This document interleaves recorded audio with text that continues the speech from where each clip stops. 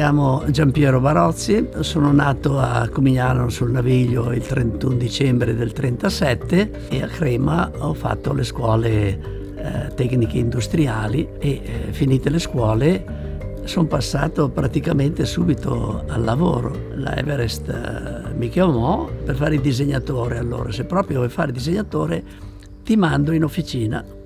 Quando avrai imparato a, a lavorare e a usare tutte le macchine utensili disponibili in attrezzeria, allora potrai pensare di fare il disegnatore. Mi affidarono a un, uh, a un operaio, non è che mi insegnasse, lui lavorava e io dovevo guardare come faceva.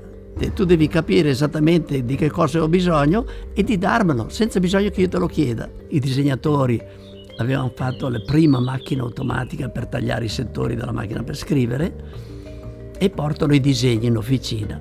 Io riesco a vedere qualcosa, ho detto guarda, se fatto in questo modo può non andare bene perché c'è questa incongruenza. Allora lui prende i disegni, va su in ufficio, effettivamente era vero.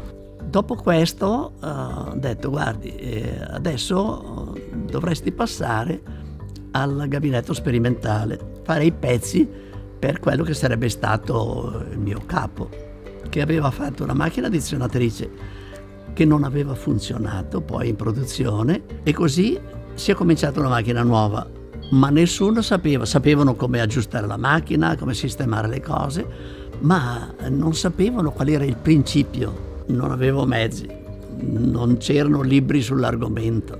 Eh, l'ingegnere Iulitta, che era il vice direttore della Everest, col quale non so come mai siamo diventati amici, mi passava i suoi libri di ingegneria per cui io potevo, alla sera potevo studiare e di giorno fare le prove direttamente, che era venuto anche Loreschi, era venuto anche lui a lavorare, era passato dalla macchina per scrivere perché era al montaggio, sì, montaggio a macchina per scrivere, poi passato alla macchina addizionatrice. Questo è un sodalizio poi con Loreschi che è durato quasi vent'anni e abbiamo sempre eh, praticamente lavorato assieme. Ci siamo messi e allora a casa mia eh, ho cominciato a fare i disegni, il disegno originale è fatto fra l'altro su un foglio di disegno che usavo a scuola, eh, però il problema mio era che io lavoravo in gabinetto sperimentale, in questo caso eh, se avessero saputo che avevo fatto una dizionatrice a casa mia mi avrebbero licenziato. Andiamo su a Milano, eh, presentata la grande felicità, la macchina funziona, tornando in ditta la, la, la notizia si era già sparsa. Il direttore mi ha chiamato poi a casa sua una sera, parole povere mi ha detto è meglio che tu lasci il posto perché qui di futuro per te non ce n'è fossero stati secondo me più intelligenti si sarebbero presi il merito. Siamo andati a lavorare lì alla Romanoni a Pavia. Alla Romanoni di Pavia molto velocemente costruito un nuovo prototipo abbiamo lavorato giorno e notte, sempre, c'era sempre uno sulla macchina 24 ore su 24. Il mio turno era dalle 4 di mattina alle 8 di sera. Grande successo la macchina si è messa in produzione. La Sperry Corporation ha visto la macchina e ha comprato la macchina allo stabilimento. Io sono andato a lavorare a Napoli, renderla elettrica, mettere poi uh, il, il, triplo zero, zero doppio zero triplo zero perché originariamente aveva solo uno zero. Non porta il nome dell'inventore, che però originariamente c'era allora, andando all'ufficio centrale dei brevetti a Roma, eh, ho trovato le carte che spiegano perché non c'era il nome. È successo che, essendo ancora minorenni, probabilmente, non hanno, uh, e, e, c'è dentro la lettera proprio che dice allora abbiamo deciso di pubblicarlo senza mettere eh, gli inventori.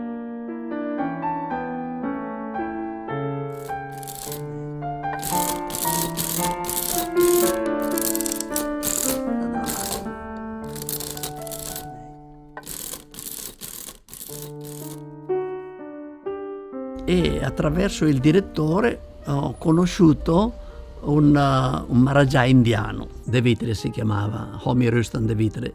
La famiglia era proprietaria di miniere, ha accettato il contratto, lasciata la Remington, torno a casa e di nuovo sempre a casa mia, ho messo in piedi un'officina leggermente più attrezzata di quella che avevo prima, che era nella mia camera da letto.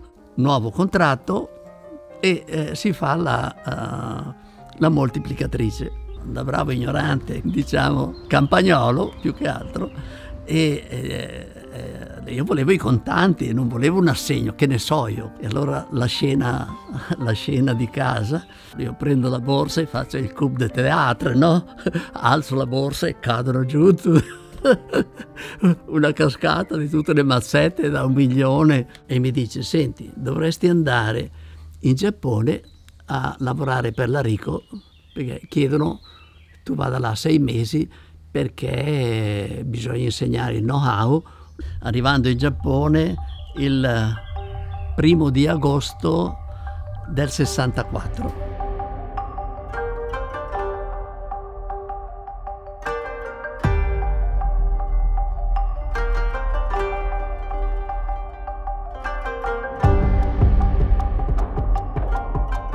Quando uno arriva, un ragazzo giovane, avevo 26 anni, parla, finisce per parlare, poi c'erano le ragazze dell'albergo e quindi senti dalle donne parlare e dopo due o tre mesi eh, sono riuscito a fare anche un paio di frasi, no? E dico una frase compiuta eh, in giapponese e tutti oh, oh, oh, a ridere.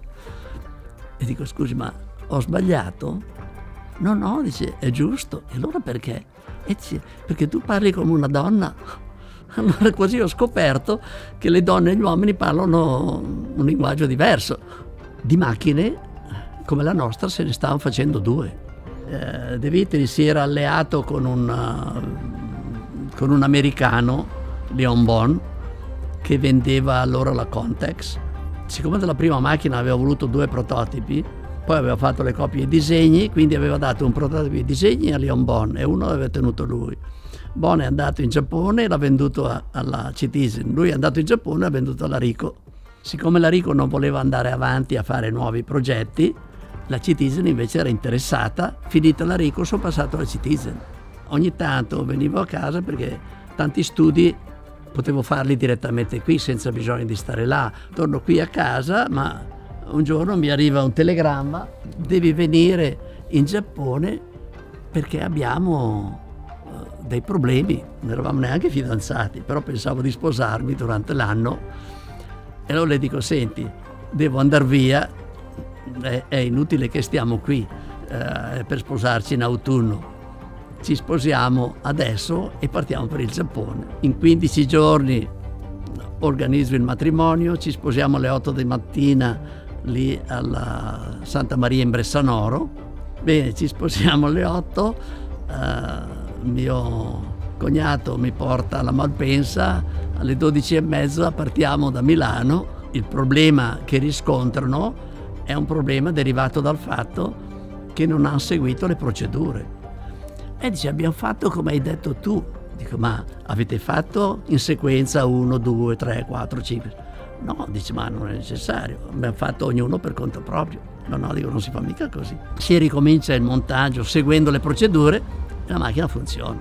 Quando poi sono andato alla, alla Tokyo Juki per fare la macchina uh, per scrivere, lì è subentrata anche la Olivetti, Franco De Benedetti, voleva che la Tokyo Juki smettesse eh, la produzione, non facesse la produzione della mia macchina e eh, invece producesse la loro macchina. E siamo andati a pranzo assieme all'hotel Ocura dove lui era e lì mi ha chiesto, dice ma eh, perché lei non lavora per noi? Francamente dico perché siete tirchietti, perché non pagate, dico.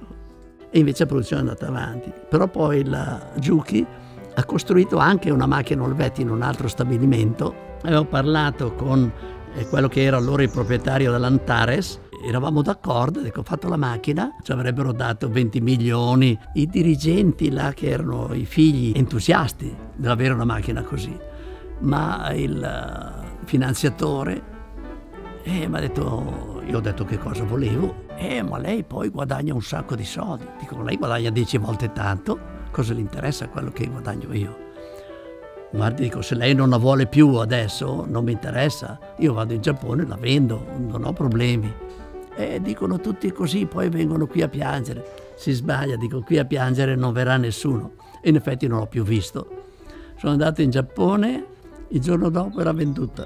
E con la pallina, uh, l'unica macchina che ha avuto successo è stata la mia, pur avendo offerto a tutti, eh, sono sempre stato costretto a, a, venderlo agli americani e ai giapponesi. Finito il lavoro alla Tokyo Juki, eh, sono tornato in Italia perché alla fine, negli ultimi due anni, Oreschi era a Tokyo e io lavoravo nello stabilimento a Napoli. Eh, io e Oreschi abbiamo praticamente sempre lavorato in coppia e eh, alla fine eh, aveva dei problemi lui, eh, casalinghi, e quindi non veniva più a Hiroshima. Quando io ho cominciato le macchine addizionatrici avevano sui 1200 pezzi.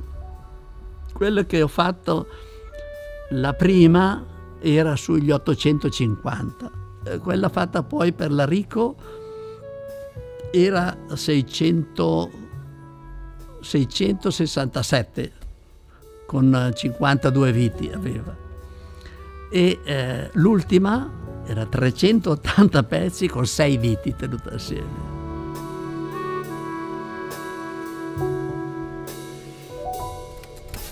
Con